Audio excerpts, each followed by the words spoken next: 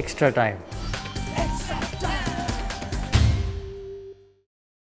Confidence obviously काफ़ी मिलेगा पहली बार इंग्लैंड में पहला मैच था और यू नो अच्छा अपॉर्चुनिटी मिला हम लोग को बैटिंग करने के लिए और यू नो एक मेक श्योर किया कि हम उससे प्रॉपर तरीके से उसका फ़ायदा उठा और वो जो I don't think we should read too much into these matches. These are practice games, so you know, obviously there are a lot of things that's different to a proper international match.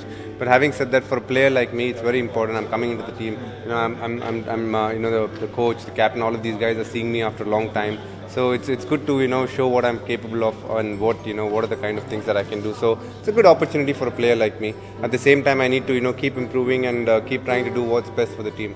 It, it's gonna be a difficult task, but eventually, you know, we are, we are all pre- well prepared. Uh, I feel that, you know, we had enough time to prepare for the preparation and, you know, had a proper IPL as well. So, you know, that confidence will carry on and, you know, this game will also help me. Yeah, in England, actually, the ball wobbles a lot, so keeping can be a very challenging thing. Sometimes it looks very simple on screen because it's just a straight ball, but then it wobbles so much that a lot of people have got their fingers fractured, etc. I got the opportunity to keep. It's just a good experience. I mean, and uh, some of the Indian bowlers are bowling really fast, and it's you know it's great to keep to them. The ball comes at a great speed, some good height, so it's it's it's it's, it's a great challenge. actually. They were absolutely amazing. I mean, the way they bowl, you know, quick, you know, areas, you know, furious, you know, they, they were pretty amazing. I mean, you know, it, it, it was pretty amazing to see them bowling like this, you know.